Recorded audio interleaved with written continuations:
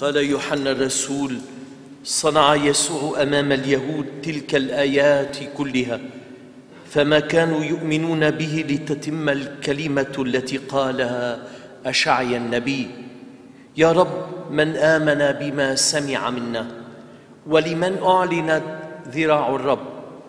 لهذا لم يقدروا أن يؤمنوا لأن اشعيا قال أيضا لقد أعمى عيونهم وقص قلوبهم لئلا يروا بعيونهم ويفهموا بقلوبهم ويتوبوا فأشفيهم. قال اشعيا هذا لأنه رأى مجد يسوع وتحدث عنه غير أن كثيرين من الرؤساء أنفسهم آمنوا به ولكنهم بسبب الفريسيين لم يجهروا بإيمانهم. لئلا يفصلوا عن المجمع فقد فضلوا مجد الناس على مجد الله حقا والأمان لجميعكم.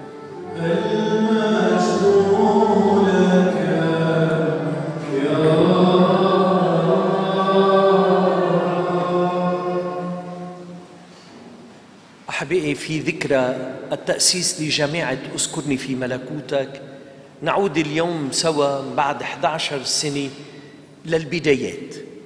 وبس أقول بدايات بدي اطلب منكم شغله مين منا ما بيتمنى يروح يزور بيت لحم؟ مين منا ما بيتمنى يفوت على مغارة بيت لحم ويشوف مكان ولادة يسوع؟ مين منا؟ مين منا ما بيتمنى يرجع يشوف البدايات يروح على علية صهيون ويشوف كيف يسوع كسر الخبز؟ كلنا بنتمنى جغرافيا يمكن نحن عندنا صعوباتنا بس عندنا هالحنين. لذلك أنا بقول لكم بدايات هذه الجماعة بهالرعية.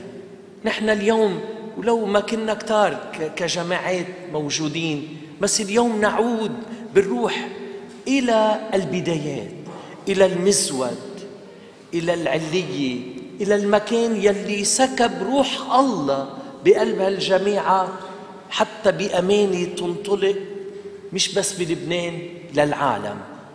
هيدي النعمة الكبيرة. وما فينا أبدا أنا بقول لهم دايما ما فينا إني أرجع لهالمكان اللي هو الأساس والجذور بدون ما أفكر بكل الفروع. يعني بس فكر بعلية صهيون أو بمزود بيت لحم فكر بكل مذابح العالم بكل كنائس العالم بكل محل ترفع فيه العبادة بالروح والحق. هيدا البعدين من مين؟ يعني كل ما تفوتوا على كنيستكم تتصلوا أو شغلة هيك بتعنيكم روحوا للبدايات وروحوا للشمولية ونحن هيك اليوم نعود إلى كنيسة مرفوقة كجماعة بالبدايات كيف كنا نقدس كيف بلشنا ننطلق بأي روح وبأي ذهنية وأيضا كمان ناخذ هالبعد الآخر الشمولية بانتشار هالجماعة في أمريكا في كندا في لندن في فرنسا في الأردن في حلب في كل يعني مش برازيل إلى آخره بكل العالم وبلبنان. وهالفروع اللي تتنامى مثل كأنه الكرمة والأغصان. هالأغصان اللي عم هيك ظلال هالأغصان اللي فيها تؤتي بثمار خيرة. والثمار اللي حملتها الجماعة هي خلاص للنفوس. الثمار اللي بتحملها الجماعة هي رجا للناس يلي عندهم حزن وجرح وألم ودمعة. الثمار اللي بتحملهم الجماعة هي مرافقة للناس المتألمين اللي عم بيستعدوا لمواجهة الرب. الثمار اللي بتحملها الجماعة هو رباط الأخوة اللي بيجمعنا كلنا سوا. هو التأكيد على أهمية الصلاة. من أجل موتينا في نعم عظيمة ربنا أعطى فيها هالجماعة من خلال اسمها من خلال انطلاقتها من خلال كل هالسنوات يلي سعيت تأدي فيها جواب دعوتها ورسالتها في قلب العالم. النقطة الثانية بدي لكم عم نحكي نحن كجماعة بنفكر بالموتى والموت وكل الأشياء. في شغلة وحدة بالحياة أو فئة وحدة ما بيموتوا. ما بعرف إذا وصلكم الخبر. كنت عم بعمل ريسيرش تشوف مين ما بيموت. طلع في فئة واحدة إذا بدكم. فئة وحدة فقط. هن اللي بيعيشوا الحب. الحب وحده ما بيموت. يلي بيحب ما بيموت. يلي بيحب الله ما بيموت. اوعى بيموت. هذا بيعبر. المشكلة إذا بحب بيت الله.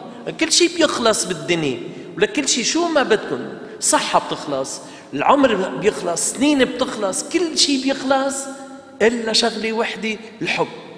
بكمل معكم ما بعد حدود هالدنيا ما بعد حجر المقبرة ما بعد كل الأشياء. وحده الحب. مشان هيك إذا واحد بيحب حدا وغيب بحسه كأنه موجود بعده. بفوت على البيت وبحس بوجوده بيحكي معه. ما بيحسه غايب. هيدا الحب يلي بيكمل المشوار للأبد. ومن ناحية تانية يعني وين نحن منلاقي الحب؟ وين عنوان الحب؟ في يسوع المسيح بالقربان. مشان هيك أنا بنبسط ب هالصلاة الطلبة يلي بتنقال عن بالقربان. هيك بينبسطوا جماعة أصدقاء القربين بالموضوع إنه بيقولوا يا دواء لعدم الموت. هالقربانة ما بتخليني موت. هيدا الحب الكبير. كل شخص بيكون حد الله وبقلب الله متحد بالله ببطل يموت. وبتعرفوا ديسي تريزيا الأفيدية كانت تحكي عن شيء كتير مهم. تقول إنه أنا ما بدي مثل الناس يكون قلبي وداخلي بيت لله ما بدي اعمل له بيت لله أنا بدي اعمل له لله قصر. ممنوع يكون في بيت عادي. ما تعملوا شيء هيك صغير لله كبروا الاشياء للرب. بيستاهل. ثالث فكرة أخيرة. لمن أعلنت ذراع الرب. أنا بدي أشهد من خلال خبرتي ومرافقتي لهالجماعة منذ البدايات. كنت في البدايات. عرابة وإذا بدكم من الأهل ومن أهل البيت ومن كل الأشياء بصلاتي وبفكري هالجماعة بقلب روحانيتي وبقلب كل الأشياء بدي لكم شغلة من خلال اختباري 11 سنة إن ذراع الرب هي مع هذه الجماعة. إيد الله اللي عم تشتغل مثل ما بيقولوا ليوحنا وكانت يد الرب معه. وأنا مشان هيك اليوم بهالعيد بقول برجع بأكد إنه إيد الله هي مع هالجماعة اللي عم تزرع رجاء عم تزرع صلاة عم تزرع حب عم تزرع مساحة لقاء مهمة جدا. بدي معكم حيي أختنا جنات اللي هي هالقلب النابض بقلب الجماعة بنصلي معها ومع كل إخوتنا وخياتنا اللي إلهم بيشتغلوا بصمت وبهدوء. وهيك من خلال الصلاة حتى ينمى مشروع الله في قلب هذه الجماعة. إن شاء الله اليوم مع هالعودة لهالمكان هالعلية هون هيدا المزود بيت لحم لجماعة أذكرني في ملكوتك. إن شاء الله بعودتكم لهالمكان اليوم نرجع هيك ناخد قوة واندفاع جديد لننطلق في قلب العالم كارزين بقيامة الرب كارزين في قوة الرجاء. اللي بيغير كل شيء. شاهدين أن الحب وحده لا يموت.